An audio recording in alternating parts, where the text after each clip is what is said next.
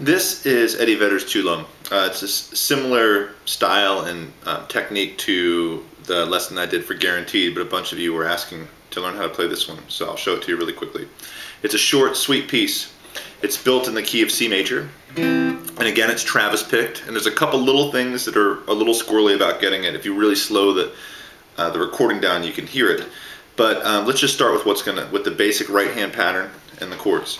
So we start on a C major triad the position, and we're gonna Travis pick between strings five and two.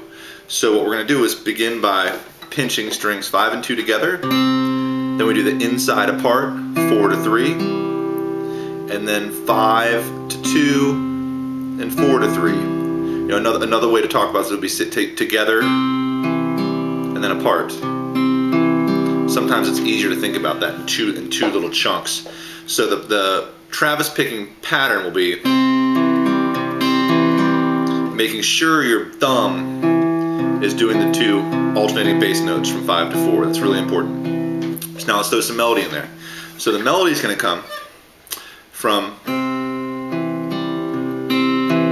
once to the pattern. Then we add our pinky to D on the second string at the third fret. Going to do next is we're going to bring our pointer finger over on the first string to the F.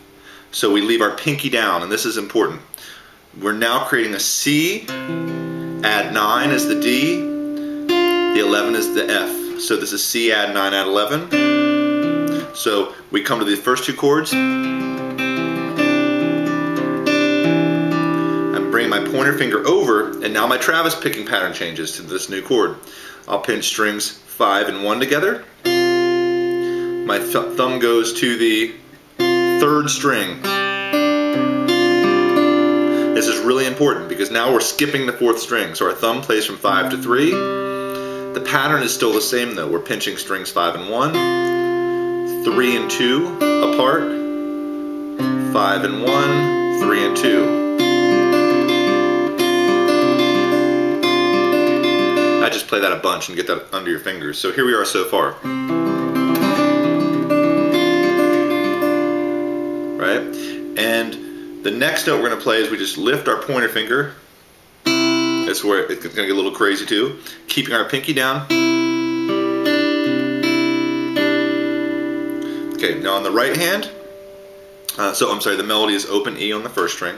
The right hand for this pattern is going to play 5 and 2 together, 3, 2, 5, 1, and then it ends on you pluck 3 and 2 together.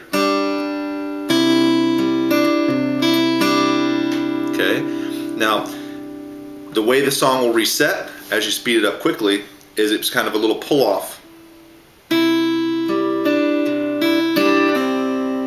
from resetting to go back to C major. Let me show you that again.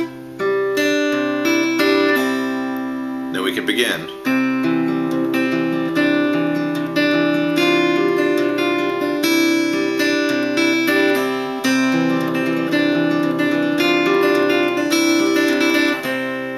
Right? Okay, so that, that's the basic melody pattern for the tune. Next we go to D7 with an F sharp on the bass. This part's pretty easy. Um, play, play a D7, middle finger on the F sharp on the sixth string. Playing strings 6, 4, 3, and 2. Same pattern. Bring that melody up to D. And then the way I play it, just out of, for me, it's easier, is to bring my thumb up over the top. Because we're basically playing the same chord with an F in the bass. So we're basically creating an F major chord with that D there. Another way you could finger this is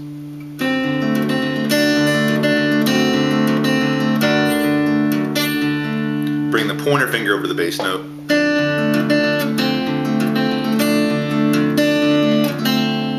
We go back to C. So, so that's it. Uh, then you know the next section there's some little change variations with the melody, but this is the basic gist of how the song goes. So to review, you got to get this Travis picking pattern down. The together, inside voices apart, outside voices apart, inside voices apart.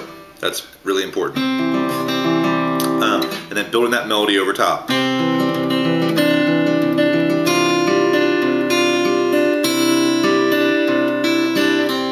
That little pull off at the end. So I think that'll help you. Um, let me know if it doesn't make sense. I'll try to clear it up for you. Thanks.